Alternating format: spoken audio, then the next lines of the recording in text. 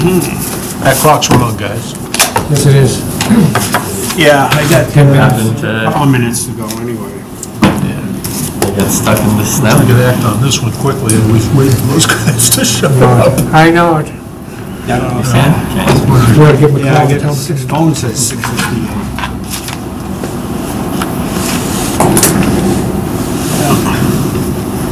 We'll see. This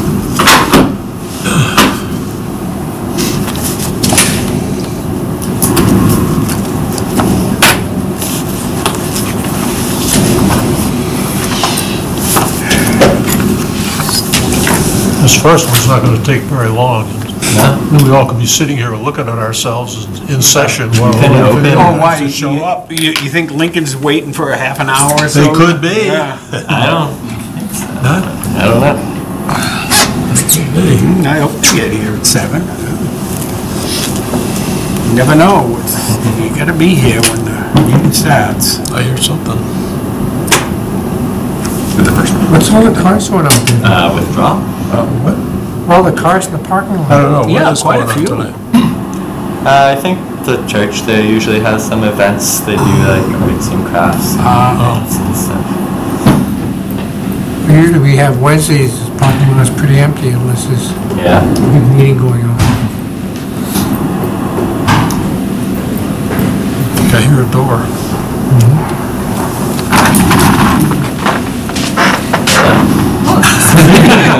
We're waiting for you. Hello. Think we haven't started yet? Not No, yet. no, the clock's wrong. What? Oh, yeah. I'm gonna, I'm gonna okay, wave hello to everyone. Um, Before you guys start, um, I have a couple people that are interested in applying for ZBA. Um, do we currently have a vacancy Yes, we Have have. one vacancy for an associate member. for associate, but the members are all full? At the moment. Okay, uh, right.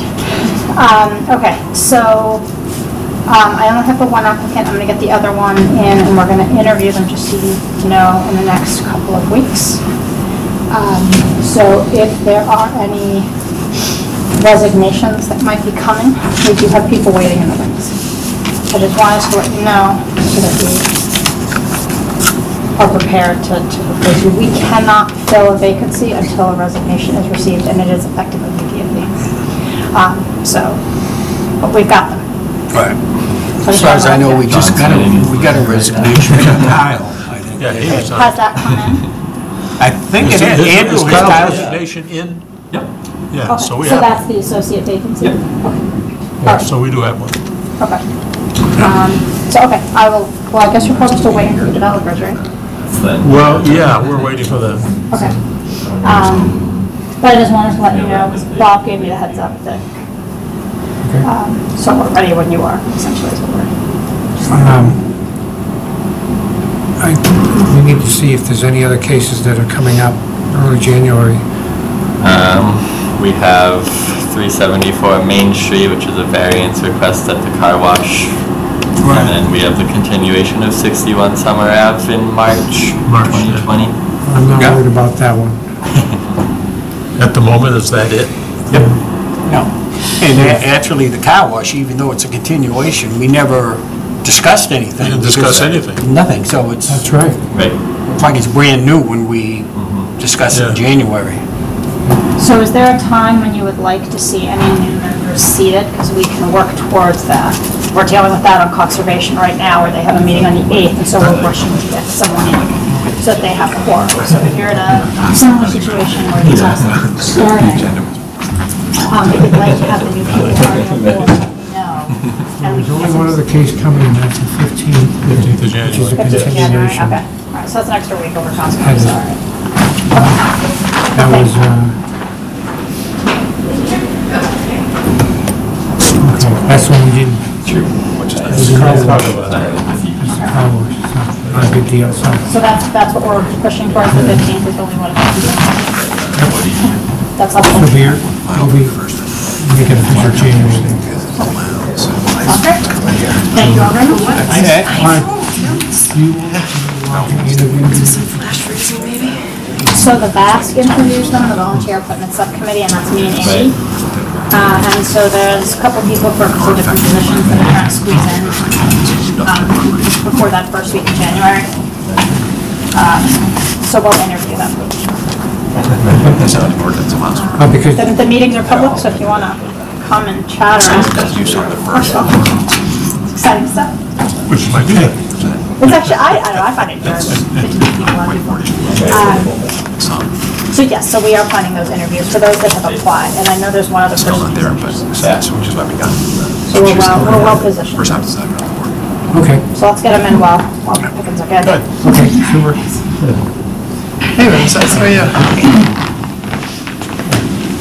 Now we have somebody. All right. Floor is yours.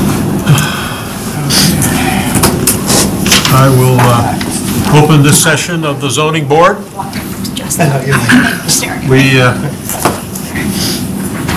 have two cases to discuss this evening, actually one, and another one under other business. The first one uh, is a continuance of uh, case 19-14, 104 Salem Street. And I we did receive a, a letter dated 16 December. And it's addressed to Dear Mr. Chairman, on behalf of my client, HB Development Corporation, I respectfully request that the Board of Appeals allow the above referenced application to be withdrawn without prejudice at this time. Thank you for your anticipated cooperation. Yours truly, Brian D. McGrail Esquire. So, they're pulling out after five continuations. Si, can I ask a question? Correct me if I'm wrong, that was an appeal, if I'm mistaken, of the building inspector's uh, rejection of a building permit for that. Yes. So it This- wasn't an application for a special permit or anything. He might have said application, but I believe it was Yeah, an he did- appeal. he He did was say- appealing the building inspector's uh, decision. Well, the actual, the actual reading was uh, going way back. Yeah. The continuous blah, blah, blah, on the application of Brian McGrail on behalf of so-and-so uh, for an appeal, for an appeal Appeal, of a okay. decision. Okay? Yeah. yeah. So, is there any discussion at all? Well, I, I would like to see if the building inspector has any new information on this. What's, what's the story with it? The last status was they were going to move, or they were pouring a new foundation. They had moved the house, they were gonna move it onto a new foundation and Correct. keep the. So the foundation's in place. Yeah. We just got the new certified plot plan showing it meets all the zoning. So they're about to place the old house on the new foundation.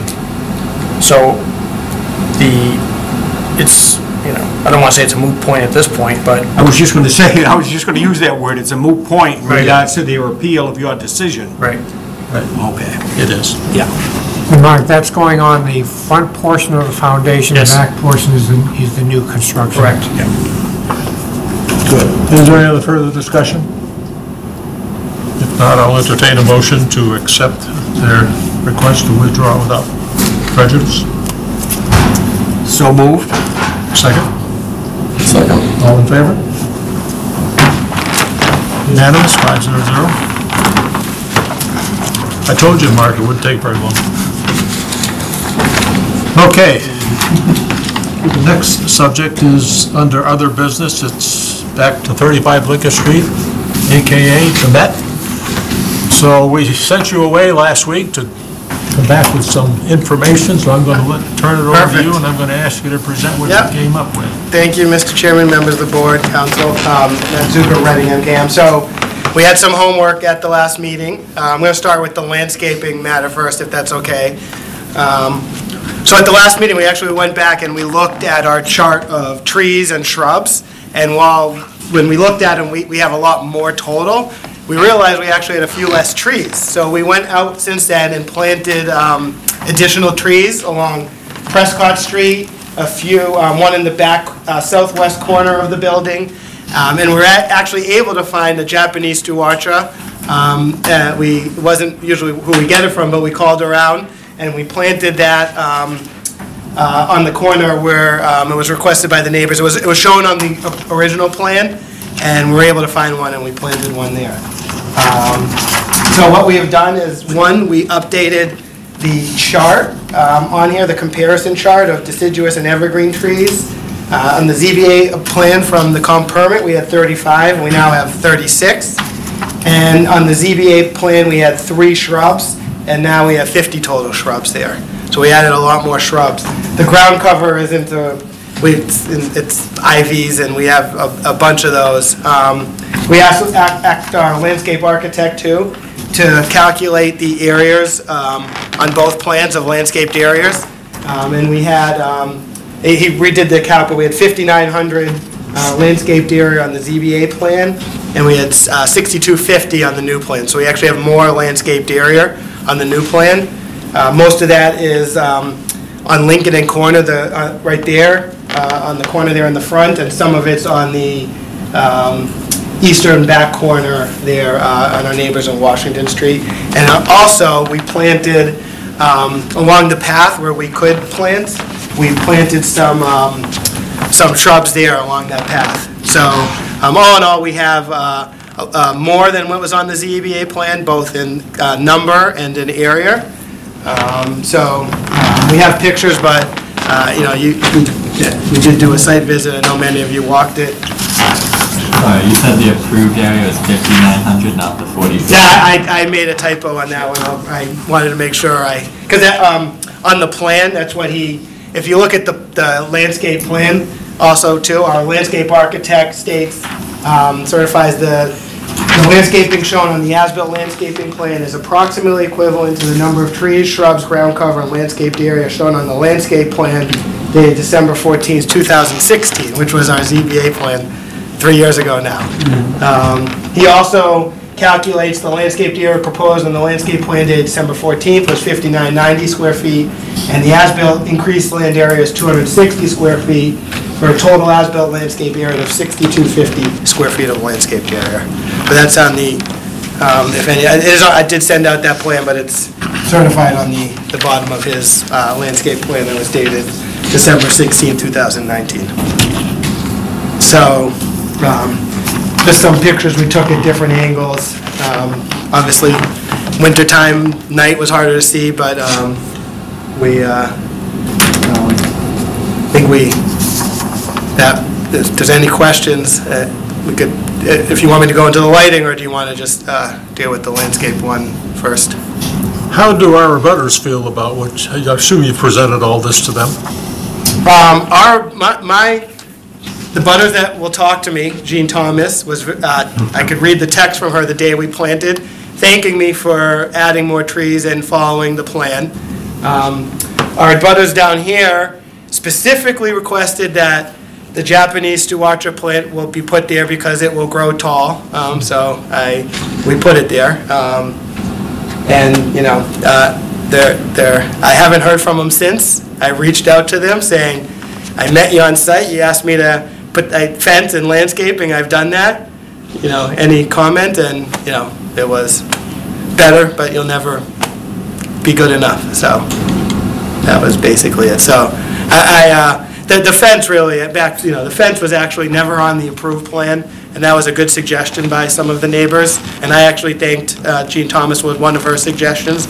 Uh, It was a good suggestion, and we, no one, we didn't do, you know, obviously talk about during the comp permit, but it's there now, and as you can see, it has, you know, multiple uh, beneficial impacts by having it there, and I- I'm glad that it was brought up and we did it, so I think the fence is the biggest thing there, so. I don't see any of them here tonight. Before we get on to the lighting, does anyone on the board have any questions relative to the landscaping? I'll start with Nick over here. I don't have any questions. No, this is, uh, what- what's been submitted is actually what I was looking for at the last meeting. I apologize. Uh, We, uh, we have an increase actually over what the uh, ZBA approved plan was of uh, approximately 1,600 square feet of landscaping. Uh, It's, it's, 260 it's, it- it's 260, actually. I, I, I pulled, I, he, he, I made him recalculate it just to make sure. And it's on the um, plan I submitted, he, he's, what he certified. Yeah. Okay. That's, that's what we, you were discussing earlier then, sure. Uh, on it. And uh, actually, I'm glad to see, we, uh, we did take a site walk around there, and I was glad to see some plantings by that eight-foot fence on the property uh, that they abut on Prescott Street. And uh, obviously, they'll, they'll take, take a while to get to maturity, but uh, we do have plantings in there, whereas the last time there were no plantings on that side. Uh, So, uh, no, I'm, I'm satisfied now. I, I would consider it uh, an insignificant change on the landscaping parts right now. John, any comment? I would concur with you. Um, Actually, I was very impressed because I, I did visit it earlier this afternoon before it got dark. So I was able to see um, what perhaps the neighbors would see as well as the individuals who who did the rent, renting on the, on the, on the site in the, in the building. Um, I think uh, that fence was a great addition. Um, I, I think you following through with that made a, a a big difference, um, certainly to the neighborhood, or should be to the neighborhood. Um, I'm also uh, liking the idea um, that on, on situations like this, uh, the board does more site visits, uh, because there's a big difference between seeing it on paper and actually seeing it on site. Um, Having a tour of the building certainly didn't dissuade me either. I mean, I thought it was very well done. Um, So I have, on the landscaping, I thought the addition of the bushes and, the- and along that uh, westerly side was, was, was great, and the, and the fence added to it, so I find it totally inconsistent, and inconsequential change. Eric? Nothing. Lori? I agree, I concur with our, the rest of the panel um, that has spoken. I appreciate that you have taken thoughts of other ways of landscaping into account, such as vertical surfaces. And I don't have any fundamental problem with it either. Just for Vanessa's benefit, uh, we did have a site walkthrough in the dark tonight before the, the session, so we've all had an opportunity to see it at night, and I have walked around it during the day myself, not today, but other times. And uh, I find it quite satisfactory. So, I won't take a vote on that one at the moment, we'll talk about the lighting, and then perhaps we can cover them both under the same vote. So let's talk about the lighting.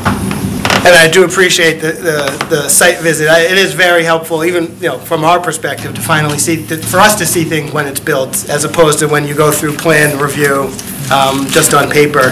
The site visit, um, for lighting was actually, at night is, is obviously way better than, for the lighting part than it was for the landscaping portion. Um, So, uh, um, what we did, just to, you know, give you an idea, is on our conceptual plan, that was back, back when, we, we we highlighted the property line, and we went around and took the foot candles at the property line on the northeast, east, southeast, south, north, and southwest. Um, And we did a chart of each one and got some averages. We then did the same thing for the um, as-built lighting plan. Um, And I I did uh, uh, send you that, but what you- you'll find is on total average, the as-built plan is less foot candles at the property line. Now, um, when you go through southwest and all the sides, um, there's a couple where we're slightly higher. When I say slightly, it's, um, we're .14 foot candles instead of .08 foot candles, or, you know, we're .39 instead of .28. And some spots were lower, we're .19 instead of .95. Um, But the, the few spots that we actually are even slightly um, different um, is where the fence is anyways. And where we've heard complaints from the neighbors, we're actually um, lower. We're an average of .1 foot candles instead of .15 on the southwest side. Um, And, and seeing it at night too, I, I think the building isn't bright. I think the biggest issue we had with any lights was just lights left on in vacant units, which we've uh, really worked hard now to make sure those are all off if people aren't there. And even one of the neighbors, when I was in the building last week, sent me a note saying, I think the bill lights in unit in the southwest corner of 4-3 are on. I know you're there, can you shut them off? I was impressed she knew that I was there, and I'm like, anytime, that, perfect, we'll shut them off. So I think that's gone a long way into some of the uh, issues neighbors may have had. Um, Those lights are also in the garage on, on sensors. Um, I think I did a site visit with some people before, and they got to see um, when they were off versus when they were on. Um, So I think all in all, um, we're less foot candles at the property line than we were before. And um, we also have that eight-foot fence everywhere, and it- that is a true testament of seeing it. It's, it's a couple feet from the building, it's dark on the ground. Uh, There is lights there that are on, but uh, that's more units, and street lights there, I think, are brighter uh, than these lights. Um, So again, I, you know, I- that's why I felt it, and I really appreciate the board coming to see it at nighttime, because you uh, get a much better sense of what uh, the, the issue was that was brought up, so. um, Any questions on the lighting? I'll start over here. Hillary, do you have any questions? We didn't do the site review or walk through uh, Eric, so I assume you know that. have any questions. either. John? No, in fact, uh, with some of the parking spaces, I would have said that uh, you'd have s- maybe some tenants who would say, geez, I'd like more light when I'm getting out of my car or whatever, but I I think that the, the intention was the sufficient light in back, in the backdrop, that uh, you can see well enough to get in and out of your car as a tenant. But it did, uh, it never reached beyond the fence. Um, So I, I thought it was uh, well done. Um, And it, again, I don't see it as being um, a problem, so I'm, I'm very much in favor of it. Robert? No, after, after looking at it tonight, and I think last week when I was looking at the photometric, uh, it didn't look like it was a uh, significant uh, change from what the uh, uh, approved plan was, uh, what the as-built. And then again, they, they supplied a chart tonight showing what the foot candles are at the property lines. Uh, In a couple places, yes, they, they've increased a bit. But again, as John says, they put an eight-foot uh, uh, solid fence there, uh, opaque fence, and I don't see a lot of light splashing over. And actually driving, driving down Prescott tonight to the site, I'll have to say, it is not obtrusive at all in regards to lighting. You don't even notice it uh, up at the intersection of Washington Street, which is the closest intersection, uh, Washington and Prescott, and looking uh, would be easterly then down Prescott.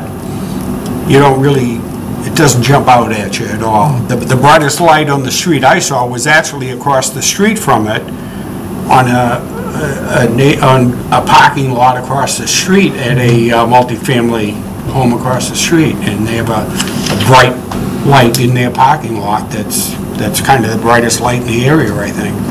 So I, I don't have an issue with it, no. I, I think it's an insubstantial change, in- inconsequential in regards to, you know, a tenth of a foot candle here or or what. Yeah.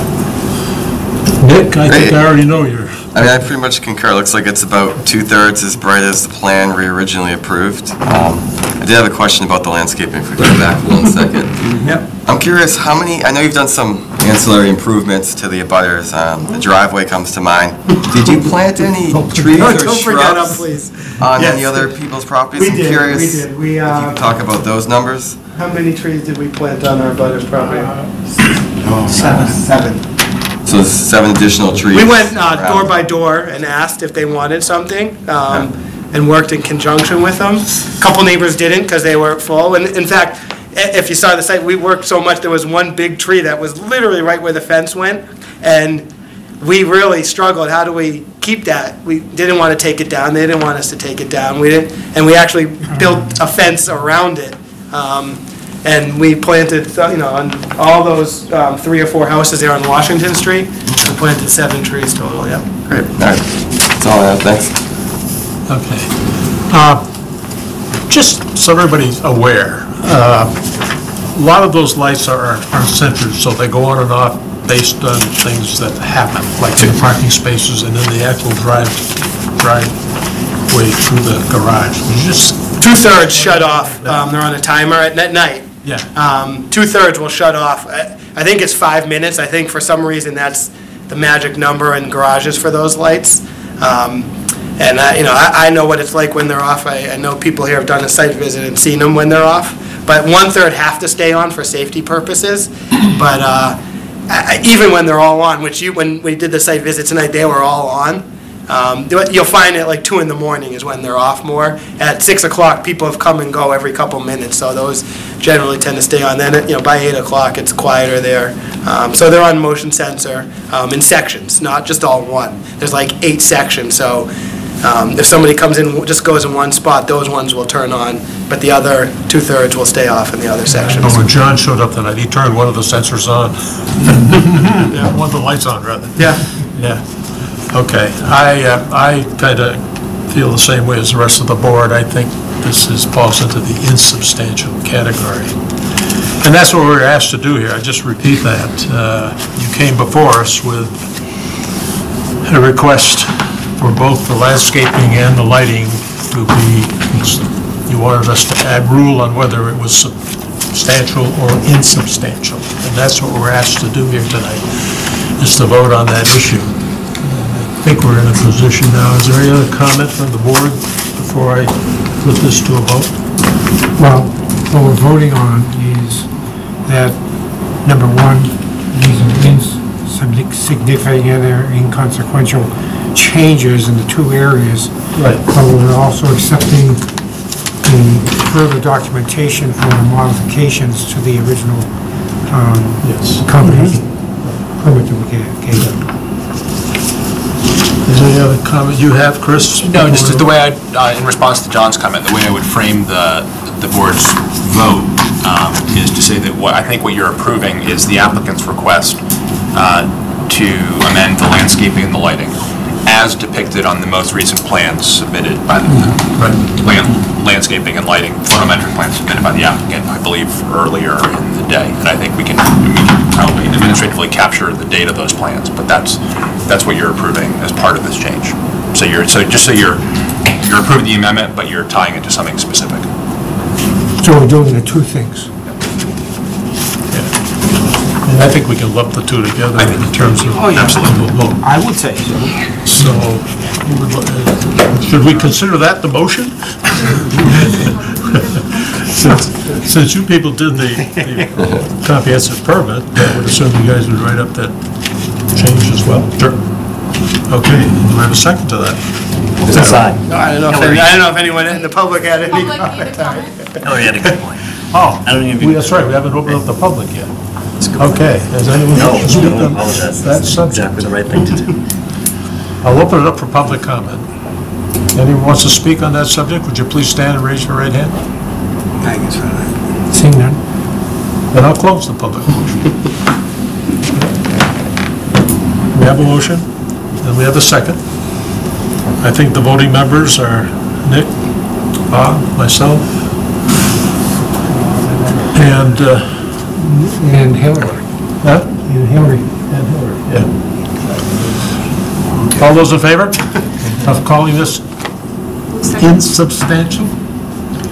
I think that's, isn't that- isn't that what the uh, MassHousing, the wording is? It's an insubstantial as opposed to a substantial change? Yeah.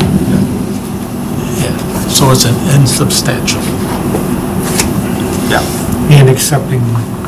All in favor of calling both of these an insub- insubstantial change to the comprehensive permit? All in favor?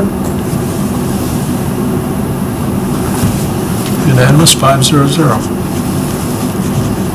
Now, the other issue that they came to us with is, is signage. We haven't addressed that tonight. But I guess what I'd like, before the people was talking about is how we are going to assi- Yeah, I think address the good signage, okay? I guess I would ask for a comment from you. Well, I think Suggestion. have in front of you as the- part of the same request that you just partially acted on. you know, The same initial letter requesting a change to the project included um, landscaping, lighting, and signage. So they've, they've asked that you approve the signage as depicted on plans shown in that submission from a month ago, I forget, forget the exact date. Um, They've that you approve those plans as another insignificant change. And I expect that there was, we didn't get to talk about that two week, at the meeting two weeks ago, but I, I think the way we left it at that, at the conclusion of that meeting is that the applicant wanted to present the slides to you um, tonight. So I would, I I would imagine that they've got a uh, presentation um, ready to go. Um, So the the board would consider approval of that signage under the same standard uh, you've just applied to the other two categories, which is, is the addition of this signage an insubstantial change to this project? Um, I think what I said last time, uh, and that's entirely up to the board. It's entirely in your, in your um, discretion to determine the significance of the addition of the signage to the project.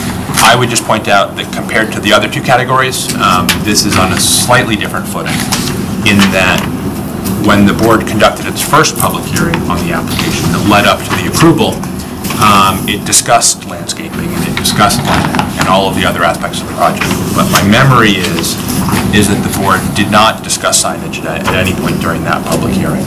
Um, It included in its written decision a condition that, either a finding or a condition, that it was not approving any signage whatsoever as part of that decision.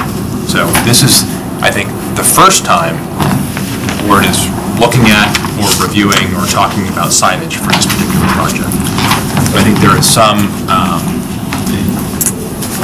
what that suggests to me is that if the board determines that is properly considered in a public hearing, uh, when it hasn't considered the issue at all before, that would be, I think, somewhat more defensible uh, under this substantial and substantial standard um, than the, than, than the other two categories, where it looked at it extensively and the applicant made some tweaks. You know, That's, it's more likely that those tweaks are insubstantial when you looked at it in the first place than here where you haven't seen anything.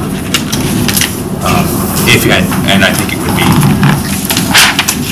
I don't want to, I don't want to decide it for you. It's up to you guys to decide it, but it would be somewhat more defensible, I think, if you wanted to, um, if you found merit in the idea that this signage needed to be considered after notice in a public hearing. um, you did.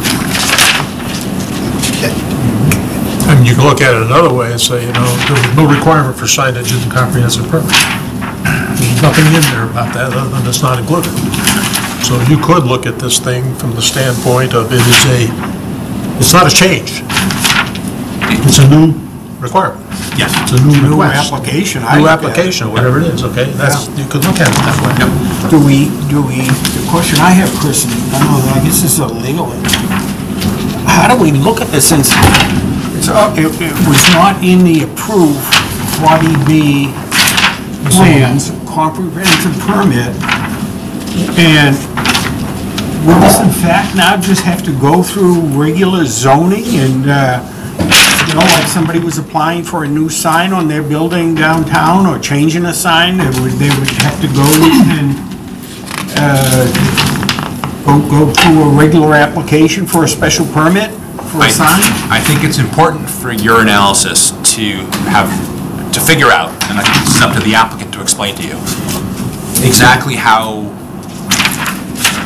much this sign either complies or does not comply with the zoning bylaw. Because remember, when they first submit their application to you, what they, what they're asking for is waivers of the zoning bylaw. They need, the relief they need from you is they need you to authorize all of the parts of the project that don't comply with your zoning bylaw. So if this sign complies with the zoning bylaw, I think that, that there would be some argument there that this is an insubstantial change. It's still a change to the project. I mean, it- you approved the project with no signage and now. But if it was something they could do by right, I think it would be easier to find that to be a substantial change. If it's, you know, three times more signage than they would normally be allowed to have, then maybe that suggests that this is a significant change that you need to, um, you need to think about. But uh, either, I mean, uh, one point is you do have the applicant in front of you tonight presenting something.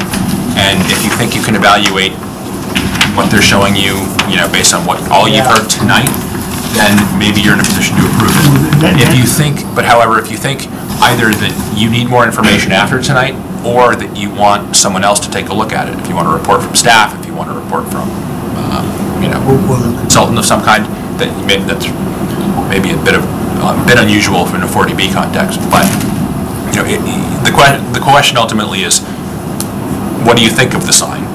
And um, do you need more information about the sign? Right. Um, Or more time to discuss it? I, personally, the more I think about it, I, I think it requires a public hearing. Uh, I, you know, it's signage, major signage going on a building in the downtown area here. I think it requires a public hearing. It was never discussed during the public hearings for the original comprehensive permit. And then I tend to wonder, do we, should we even be, if, if it requires a public hearing and a public notice then, and not heard under other business as it is now, uh, do- should we be even in fact discussing signage without a public notice and the public being aware of what's happening? Oh, I I think, I think that's a fair question, but I do think the applicant, the applicant has the right to come back to you and Okay. make its case. that- Make its that case. What it wants to Yeah. put up is an ins- insubstantial change. Okay. Um, So the applicant ought to be allowed to make that, uh, make that argument and attempt to Okay. convince you. Uh, If you're not convinced at the conclusion of their argument, then Sure. it's entirely within your rights to find it substantial. And then, and then really, the only thing is, that happens after that is we're back in a month. Yeah. um, After having provided notice to parties in interest that we're going to be considering that. Um, You may, and so, yeah, it, it, the, the the same review will happen again. It'll just be in a slightly different procedural Sure. position. Okay. Yep. I had a question for Chris. If the board goes through, in a decision, there is no mention of the board taking up any request from the petitioner on signage. Um, that was going to be pushed back to a later time, but when we closed the hearing for the 40B, we then closed technically the book on it. And the book did not involve signage. So by discussing it this evening as a change, whichever way we go, are we then opening back the book and can we do that on a 40B? Just open a book that has already been closed and put in print? Yes, I wish I could say that once you issue the comprehensive permit, um, the book is closed on the project and you. No, no, no, no, not closed, but because, because the verbiage in the decision says signage was not discussed as part of the final decision because it was not brought up. I mean, does that imply that it will be brought up at a later date? Not necessarily. Uh, That's, but that, that's up to the applicant. If they want to come back in three years down the road and show you something that they didn't show you before and ask that you now authorize it as part of the project, they can do that. Okay, so what you're saying technically is that we need to, to hear the applicant on this, this evening, Yeah. and then make a decision as to which way the board wishes to go. That's all I wanted to. I agree that we ought to hear them out tonight. And so I will turn it back to you. And, and thank, thank you, Mr. Chair. O- Obviously, I've heard the initial comments, and um, I just so, so we could talk signage. We didn't talk specific proposed signage at that hearing at all, but we did talk about what guidelines we had to follow for signage. And in the decision, it does say, um, "Uh, any signage proposed for the project shall be considered business or commercial in a residential zoning district and shall comply with the Business B zoning district regulations. So, um, like any sign in a Business B zoning, it has a whole set of criteria, one of which is, even if it's by right, you still need a certificate of appropriateness from CPDC. The purpose of the comprehensive permit is to do it under one board. So when we went back and looked at all that, we actually got one of our signs approved at CPDC. Um, And then this one came up.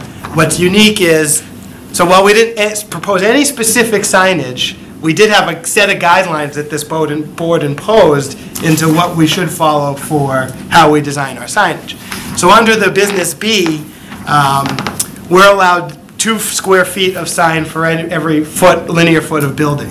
So that's almost 800, it's like 780 square feet of signage we could propose. There's a caveat in that note in the table that says that, that says the height can't be higher than the second floor sill. Now, the code doesn't really take into account 40Bs and something could be higher. I think the zoning district, you know, it's usually two stories or two and a half, and maybe one's three, but the idea was, you know, to have the signs, I believe, in proportion to the building and not have it too high. So what we did was design a sign, um, I did submit that sign, but I, I don't know if everyone has a copy of what was proposed. I have three here, if the board would like just another one, if they need it, or... um, yeah, So what we had proposed was just a, it's a non-lit sign, I only have three, so... Sure, I think I got that, but I got you. So what, what's, what's unique here is that, uh, if this sign was dropped below the second floor sill, it meets all the requirements, where, where, um, uh, less, now, now, there may be some others, and we haven't put up any signs yet. So the idea is, I think you could have, and, and obviously we have the zoning enforcement officer here, um, and we've, we've discussed signage, uh, we have some good discussions about it. I believe you get, um, one for each facade. Um, so right now, we have two canopies and, um, on the awnings that you saw. Um, But at that sign, if you take that whole square footage, is 170, 180 square feet of signage, significantly less than the 800 we could do um, if we dropped it below the sill of the second floor. Um, There's a lot of things we could do that make, you know, no sense, not that we could do all of these, but that's kind of areas under uh, Business B signage where we could put signage, as long as it's below the second floor sill, and we have, uh, not, um, you could never do all those, don't get me wrong, it was just ideas, I'll show Mark, and he'll appreciate. Oh, no, that's the old, that's the, that's the new one, you'll like my. I guess I won't appreciate it. No, no, you won't appreciate it, but we did figure out fob, so you may owe us a dollar. Um, So, you know, I, I I hear the board's initial take that, on first glance, any signage has to be, you know, uh, it was never discussed, so it has to be something that's substantial. But um, what we're proposing versus what we, was allowed in the decision, which did say Business B, if we were a different zone where we were asking for more than what was allowed in that zone, um, I would say, you know, no- another story. Here, we're asking for less than what was allowed, and the only waiver we would need on that sign um, is the height of the second floor sill. And I think from a practical standpoint, when you go out there, having one sign on that brick facade on Lincoln Street facing the train, it's not lit, um, as opposed to something you could, we would have done on Prescott, or, it, it- I- I'm not sure what the impact is, but I, you know, I respect that it specifically was never brought up then. It's just, I, I, I'm not sure there's any, that, that, you know, it's not, you know, there's, it's not, nothing's changing, that's what we're proposing, and, and, I think it's less than what was actually allowed under the decision, um, but that specific sign wasn't proposed then. So it it presents a unique circumstance where I understand, I've sat on the board, on its face, it looks like it would be a substantial change. In reality, maybe it's not, and even if we go down that in, in a public hearing, I think, um, you know, I I think it's a tasteful sign and less than what, uh, you know, smaller than what the code actually allows us in that, in that district. And I think complying with the code, putting it below the second floor, yeah, and, and, you know, we could wrap the windows, I mean, there's things we could do that just, you know, we really wanted to make a tasteful sign for that one facade and, and not be too imposing, but still signify the business, and I think we've accomplished that, but, um, I'm sure, uh, uh, the zoning officer has comment too, but, um, happy to answer questions, so, on that. But you're still proposing the very first one. Um, it- It's, it's, um, I'd be interested to hear the take, uh, the- you mean the, which first one? The, Well, the- the first one you passed out tonight. yeah, yeah, that- that one, yes, that, that would be on the facade, that. Yeah. That's what you- That's what we're, that's what we're, what we're asking for tonight is that uh, a waiver from the second floor sill um, is what we're specifically asking for tonight, that the note it- in their, in their chart on Business B zoning has that note, second floor windowsill, um, which I get the, the theory behind it, it just Right. isn't as practical in this case. So that, that's what we're specifically asking for. And what's the total square footage of the, uh, the three signs that you're looking at? that you're proposing? The two awning signs, Two awning signs plus... Yeah, tho- those signs are, uh, uh, they're approved, I think they were like 50 square feet each. They're pr- really small signs, if that. And the Met sign that you have? If you, proposed- if you take the whole rectangle of the, like, no, the, the- if you put a box around it, uh, um, I think it was about 180 square feet. It's just under that. Yeah. Right, right. 172. So, For round which figures, 17 feet by 10 feet. Yeah. Would be, you know, I, I- think, Which is substantially less than uh, what would be allowed, as long as it's below the s- sill So- of the uh, second floor. Yep. I believe so. And this, uh, as you said, this, any of these signs on here, these permanent signs on the awnings and on the uh, facade Yeah, it- will not be lit. There's no lighting associated with them at all. No, there's lighting that's on the building that's all, was, that you saw tonight. In fact, we actually had some lighting we're changing out because it wasn't dark sky compliant, and we're gonna Nope, that's- change those out. Um, uh, So We always hear that from, Yeah. you know, a concern of abutters is the lighting Yeah. involved. This wall sign wouldn't even be externally illuminated. That one isn't, no. That we, I, we, to be honest, we wish it was, but there's no power up there now, so it would not be. It'd be nice. I think it would be a nice feature. Just for clarification, Mr. Chairman, like I said last meeting, on the application, it says externally illuminated by others. Right, and, and, um, I- I- and- and there there is none, we commit to that, so. We, uh, thought that there was power left up there, and that's why it was on there as that, but there isn't. Right, there's no power there. Not readily accessible.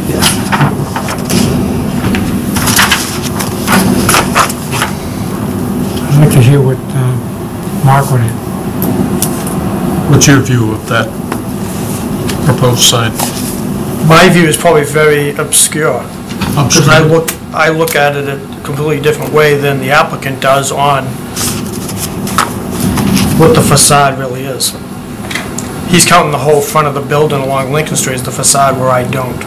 I count the section of the brick where that sign is gonna be mounted Beyond. as the facade, because ah. that sticks out approximately a foot from the two surround, the two walls on each side of it. So my square footage number would be based on that brick area where the sign is being mounted, not the whole length of Lincoln Street. So the idea that there's 800 square foot sign looming someplace based on square footage numbers, I don't buy the argument, in my opinion. What would, what would that calculate out to be, Mark?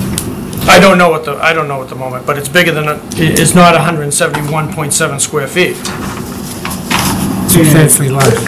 Well, that's, Yes. what I I think, I think maybe we need to have the building inspector look at it and do some new calculations. Because if I'm not mistaken, correct me if I'm wrong, Mark, but when we do these signage that have no backlighting to them or anything, and they're just the letters put up there, don't we, do you do a- a rectangle around that Yes. sign? And that's the square footage of the sign, that, that Yes. rectangle? It's okay. not the actual inches of the letter itself. It's not the actual square footage of the letters, it's that rectangle around the letters, yeah, okay.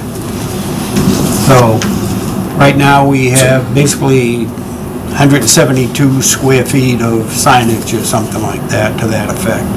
So, no, so respectfully, I've already looked at this application. I issued a denial letter back in June. Yeah. I don't need to look at the application again to do the numbers. The applicant is supposed to supply the numbers. Yeah. No. Okay. Alls I, I made, a- I made an opinion that it exceeds the allowable square footage. and it extends past the second floor sill height. And that's why I issued a denial letter back in June.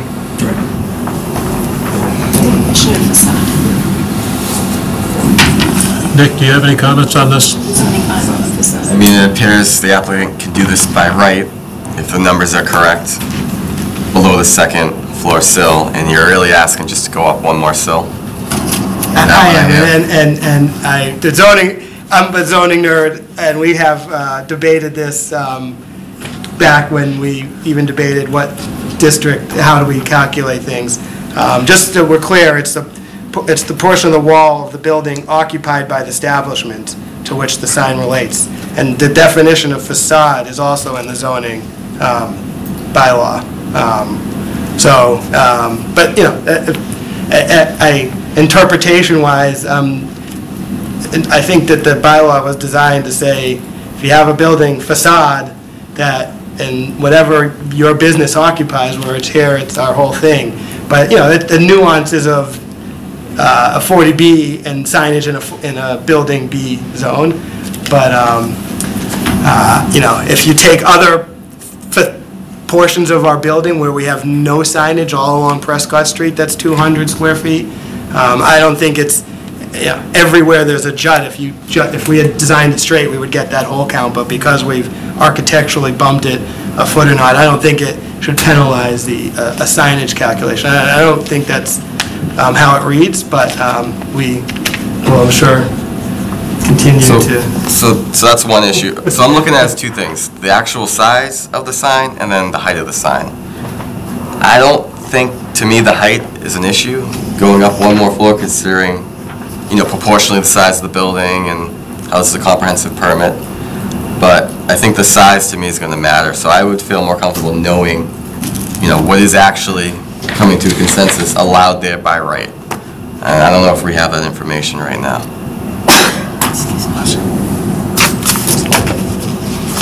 But, uh, fir- First off, it's, I, I, I think we have to have a public hearing on this. I, I really do. I, I think signage is a big concern in town, and it was not any signage discussed at all in the original comprehensive permit. And I really think we, we do need it in this particular one. Uh, I, I, I do, I do like the sign, I like the no lighting on it, I, I like the, just having the main sign on uh, Lincoln Street, uh, and, and foregoing any large signage at all, other than, what is it, just on the canopy on Prescott Street. uh, On that, but, but I do, I do think we need a uh, public hearing. And I do have a comment on the, the temporary signage, but we're not talking on that yet. Maybe that's a, that's part B here tonight. Yeah. uh, The temporary signage. Yeah, I think those are good, Yeah. good points, I appreciate. Okay. John, any further comment for you? Um, I guess I'm, when I asked Chris about opening the book per se on the decision, uh, the reason I asked that was because um, if indeed that's possible to do, plausible as well as possible to do, then um, this board makes that decision because it's still part of the comprehensive permit, and therefore, we do not have to go back to a a formal um, application for uh, relief. Um, And I was ready to, to move in that direction tonight before hearing Chris, but knowing that uh, the applicant has the ability to do that, and is, is coming before the board requesting that, I think that the board has to make it, well, in my opinion, the board has to make a decision on what is plausible and what is not. What I don't understand, like Nick, um, I don't have the problem of going above the second floor. As presented here, going to the third floor does not bother me at all. Architecturally, I'll have to, I'll have to go to our architectural specialist here, but uh, it fits there in the building. It does not fit at the second floor level, number one. Right. But what I can't get past is, maybe it's too large, but I don't know what total square footage in that box we can allow. I'd have to go back to Mark and see what that is. And can we modify that? And is the applicant interested in modifying the 171 square feet to something in the order of, and I don't know what, in the order of, 125 square feet, or, I don't know what that, I don't know what that box would contain, and that's what I would need to know before moving on, but I, I, from taking Chris's lead on that, I would say that we need to, as one member of the board, we need to, uh, to look at making it um, part of the decision that we're making in the consequential or inconsequential changes uh, that the applicant is asking for. So I'll just leave it at that right now because I, I don't have that information. Eric, any comment from you? That's really a question for Chris. So what we would be, as is presented here, would be uh, substantial or insubstantial change. But if this was coming before us for the 40B, it would be a waiver that they would be requesting. So I feel like even though in form it's uh, insubstantial or substantial, in substance, it's, it's a- in effect, it's a retroactive waiver. So I would, maybe not technically required, I feel like the public should be given notice of that so that they can have an opinion on it, which I'm sure they do. And maybe they don't realize that that's something that, um, you know, is, is actually going to be, you know, talked about because it's not an advertised agenda item. It's just in the other business. So I think since it is going to be such an impactful decision uh, on the building and everyone that drives by it, I think a public hearing uh, would be appropriate.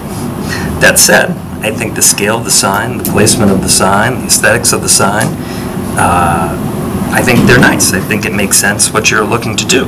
I just think that you have to give everyone else, I think, even the most appropriate level of notice, even if we could technically do it, you know, tonight, under the way it's been um, put on the agenda. I think that the, an actual formal noticing would be the appropriate way forward. That's all I got. Okay. Can I just, can I just add one quick comment? Um, I just want to make, I think,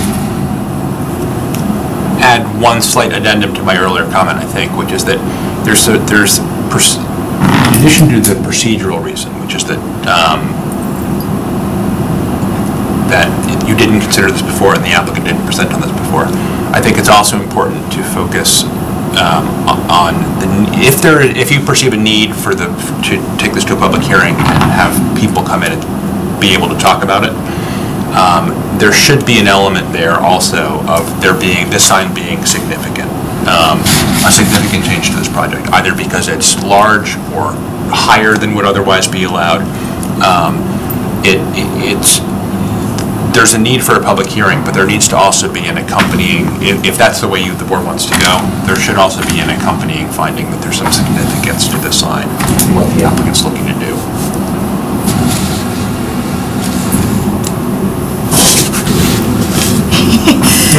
Um, I agree that the sign proportion, I've been driving by, looking at the brick facade, and there needs to be something, it feels like there, that's a place, a good place, feels like it was designed for that area. Um, Something that is not coming through in the black and white drawings with the brown um, color um, sign is that I'm worried that we're worried about the sign and it's going to be lost on a brick facade. The brown and the brick, I, I can't see how that's uh, drastic or is, I've lost the word, um, contrasting enough that it will be not illuminated and we're discussing a sign that's going to be on the facade. It becomes inconsequential. I know. No, I mean, it- it's But a good, it's- po- it's, a it's, it's point well you know- taken. We, it's, the colors of the building is all that, those tones. So it'd be, you know, if you did a bright red sign, you no, bright blue sign, it may, so if we, we certainly, um, Or even a darker, yeah, when we got the swath from the sign maker, we have a bunch of choices. Um, it's a point well taken, thank you. so if it's not illuminated and it's not being illuminated from exterior, and you're putting signs that are the same color on, of backgrounds. Maybe we should request it to be illuminated then. So, that's just, I'm, that's something that concerns me, that we're discussing all this and it's gonna be lost. From my vantage point, um, I think it's a tasteful sign. I think it, it looks good. I think what you tried to do, what they, what you tried to do, Mark, and I- this is the way I read it, is you tried to center the thing on that facade. Yes. So Because essentially it's similar distance from the top, the roof down to the sign, and from the bottom of the sign down to the ground. We tried to sk we tried Tried to. to center it in there. The architect designed Just the happened to come sign. out and be where it is. I think it's not a bad-looking sign, and I, uh, and that plus the other two, I think is tastefully done. The only hangup I have is how do we handle it? In- In fact, I would think it's almost an insubstantial change, okay? If you, I mean, Right? But the question is, how do we get through this, and what's, what's the right procedure to go? I, I, I kind of lean in terms of, uh, I mean, ultimately, that ought to be a, a, a application. ultimately, ultimately, I think what we need to, um, I flagged earlier the differences between the other two of this, and that you hadn't looked at the sign before. But ultimately, the determination you need to make tonight really does, in the end, boil down to whether this sign is going to have an impact on uh, the residents of the project, or the residents of the surrounding neighborhood, or the people who are driving up and down the street looking, looking at this thing. So if you all find it to be a reasonable sign in its design and in its size that is not going to have any real impact on others, then I think it's within your jurisdiction to find it to be an insubstantial change. If, however, you find its height or its size uh, to to cause some impact on the surrounding neighborhood, then you could find it to be significant, and we could all be back in a month talking about it uh, more. Um, It really does boil down to a question of, of impact. And it's a tough one with signage, but that- that's, that's the determination that the board uh, collectively needs to make. My view of the thing is that it, to your point, I, I can't find, I can't think of very many people that would have fault with that sign as it is proposed, okay? It's not lit, uh, maybe it needs a little color, I don't know, but I think we'll discuss that one further, question that, but uh, it's tastefully done, and I, I can't imagine that the residents or the neighborhood would have a problem with it, so if that's where, you- okay, I can say, I can go the insubstantial route, I can, I- but I'm, I'm not gonna, I'm not gonna. wrestle with the issue that it mm. wasn't part of the original request. It's brand, it's a new requirement, okay? Gi- gi- Given your, your comments on, your thoughts on the sign itself, I don't think I could fault a finding that it's, that this is an insubstantial change. I- If, if, if, if the sign looks okay and you're not, you don't think it's gonna have any impact on, on the surrounding neighborhood, um, th- th- that, that would support a finding that this is an insubstantial change. So, I have a question. If it was insubstantial change to allow the height, would they have to go back to CPDC for this approval of the wall signage? And there, they would discuss lighting, color, etc. No, I mean, all of the, um, the board has within its juris, it's within the board's jurisdiction to approve the sign as presented. And that, would be all the relief. that the applicant- Comprehensive. and the awnings are the The CPDC has nothing to do with 40Bs. Well, we've got a a mixed view here, okay?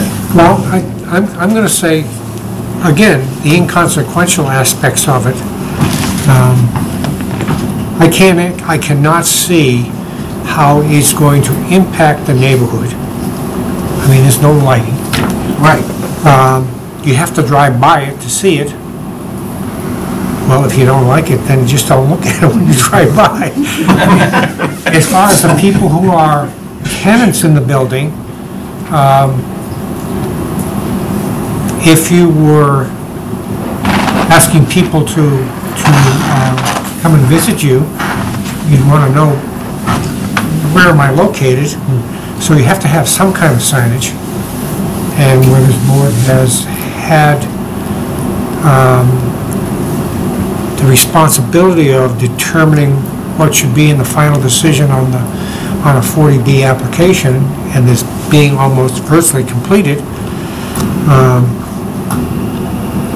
and the fact that, as Chris says, the applicant has the right to come back and address the board as um, an uncompleted, incomplete addition or modification uh, that we, that we would need to hear. I think that this gives us the opportunity to, to make that decision. And uh, again, I, I think in, in light of, other than the color, um, it, it's appropriate uh, in its location, um, and the signage, the two smaller signs, CPDC has already uh, met and given the, per- the permission to. Uh, That, that decision's already been made before we recess. That was fine. Um, But the inconsequential aspect of it, uh, this project has been going on for how long now? I believe you issued the permit Two years ago. Three, three years almost close to ago. three years ago. Almost three years ago. Yeah, Landscape plan Um, was 16. And it's been, it's been difficult to complete, but we have it now complete except for one minor adjustment. Um, Rather than going back and uh, creating upheaval in the community again, whether there be only one person coming forward, I mean, it's just another meeting you have to go through to, to do that. And had the applicant brought it up initially, we wouldn't even be here because it would have been already discussed. The actual drawings for the architectural aspects of the project were there. There's just no sign attached to it. So that's not how I walked into this meeting tonight, but this is where I'm hearing that the board has the option of moving, and with town council's uh, direction, at least giving us the opportunity, I guess, to wrap this up. I like to see it wrapped up. That's my thought. Any further comments?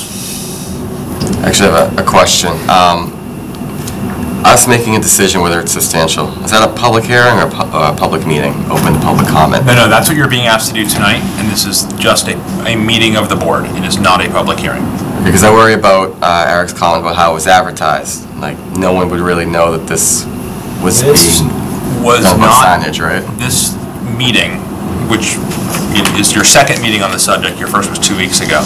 When you conducted your first meeting on this two weeks ago, you did not advertise in the newspaper, and you did not send mailed notice to parties of interest. Um, I don't know whether there was an, uh, otherwise, a general awareness that you were considering it, given the, I I know there's been a high level of interest in this issues associated with the construction of the project, but um, I can't, I can't speak to that. It was not noticed. But that said, I know they reopened it up for public comment. That's not required in the public meeting, right? No, no, no. You, the, the state regulations on 40Bs require, when the applicant makes the kind of request that it made a month ago, which is that you approve these three things as, in- as insubstantial changes, the state regulations require you to make a decision on that within 20 days, which is close to, if not, I don't know if that's actually enough time to notice a proper public hearing.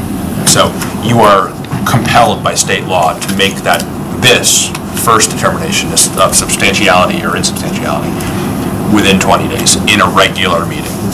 Um, And then only if you define it to be, the change to be substantial on its, you know, based on its impacts, would you then move along a month later to hold a public hearing and to consider the question further.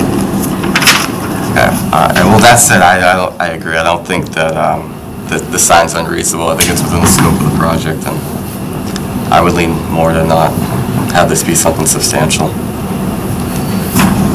Ins- Insubstantial. I think it'd be insubstantial. I mean, I'm, I know we don't know the exact what would be allowed by right square footage, but, I mean, just looking at it, I mean, it's, it seems to fit within the project. And it's not obnoxious, it's not lit up, It- it's a pretty mundane color. I think it looks okay. Bob, you want any final thoughts? I, I, I would agree with everybody's opinion on, in regards to the sign, how it fits with the building. It's, uh, uh, it's not intrusive, it's not overpowering or anything like that. I think it fits in well.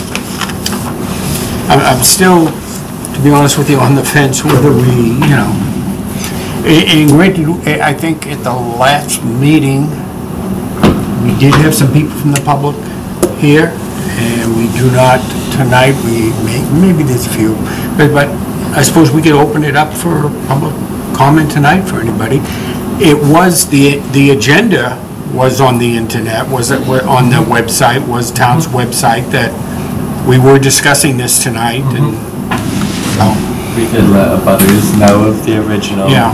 It just, it just was not We did advertised in receive paper. comments by and email. Abutters weren't notified, but it was shown on the uh, town website what the agenda was tonight, yeah. You did receive emailed comments two weeks ago, so if you want to read those into the record or enter them into the record, then That's true. True. Ju- On that point, most of the comments were on the, te- I think all of them were on the temporary side, which isn't, you know, this isn't, have, you know, completely different comment on that, so, another So subject. you're on the fence. Yeah. Eric, you still, Yeah, well, I mean, I'm not voting on it, but I do sense that the board has project fatigue and just kind of wants to get it over with. Hmm. But I think, I do think it's a substantial change. You're, it would be something you would need a waiver for if it had come around. let's assume for the moment that we sit here tonight, we we vote on, take a vote on a thing and whether it's a substantial, or insubstantial, it's considered a substantial change. Insubstantial or substantial? In, And Hypothetically, No, I- this- I- it's a I missed- majority decision. It could be three-two or, what, you know. Yep. And It's, it's substantial, okay. okay? Where do we go from there? If you vote 3-2 to find the addition of the sign to be a substantial change, then um, Andrew would go off and prepare notice of a public hearing. Um, And we'd be back in three weeks to a month uh, to open up a public hearing on the addition of the sign. Um, And the applicant would present, you'd have the opportunity to ask all the same questions, and we'd, we'd have a discussion similar to the one we're having tonight, with the possible addition of more members of the public who might have received notice but not otherwise known about tonight, um, to add their comments to the record. But the discussion about the sign, I think, would be rather similar to the one that we're having. Okay, and let's, let's assume the other way. Let's assume we take a vote and, and, and three out of, three to two say it needs a public hearing. Oh, I mean, it's insubstantial. Then That is. Then, the, uh, that, i- the sign is deemed approved, and they can put it up on their project without any further uh, public process or um, approvals from, from this board or any, or anyone else in town. The, the sign is, if you, if you vote 3-2 to find this sign to be an insubstantial change to the project, it's over, the sign is something they can build on their project. As depicted, I mean, I want to be careful to As depicted. tie it to the depiction, the renderings that they've provided you. Yeah, as They depicted. could put up that sign as shown on the rendering and nothing other than that. Um, But that could be built. I'll give you one last shot at it, Hillary. Is the Huh? pub- or Does the public comment on this that is here now, or Well, I'll- I'll open it up in a minute, yeah. I'd like to hear what they, Everybody come? Uh, We'll open it up to uh, public comment. Uh, Is there anyone who wants to speak on the subject of signage here tonight? Anybody? Then I'll close the public portion of the meeting. And uh, I'll entertain, I guess one way to do it, would be to entertain a motion that, It's always in the positive. huh? It's always in the positive. Always in the positive. So Yeah. I'll entertain a motion uh, uh, that this uh, signage change for, I'll let someone else make the motion. Would you like to make a motion? um, I have one question, sorry. Excuse me. Because we, I'm just, this is, uh, how does this work? Yes, um, since we didn't see this last time, is Eric now allowed to vote, or is that because it's still under other business? Uh, I think, I think he's not eligible to vote. So it's gonna be you, the other five of us, okay? There's still the issue of the temporary sign. I don't know if you want to handle them differently. or- I would, it's another, Ed, if we could Let's get this one change, out it of may change this based one out the on. way One, first. one at a time. Let's get this one out of the way first. Okay, I'll, I'll go ahead and make a motion that, uh, that the permanent sign, signage proposed for, uh, the Metropolitan Reading Station, uh, be a insubstantial, be considered an insubstantial change to the comprehensive permit. And this signage is depicted on, uh, uh, plans titled Building Signage, Sign Type A, Wall Sign Layouts and Details uh, for the Met, the Metropolitan at Reading Station, uh, depicted on a uh, rendering or a plan dated 6/3/2019. And I think also as as shown on the elevation plan, I'm read a little better. Okay, yeah, there you go. Six, uh, again dated uh, 6/3/2019 uh, by Arch Type Sign Works uh, on that. So basically, the motion is that it's an insubstantial change, and the reference is made to the permanent signage uh, plans submitted. Second? Okay, all in favor of it's treating it as an insubstantial change?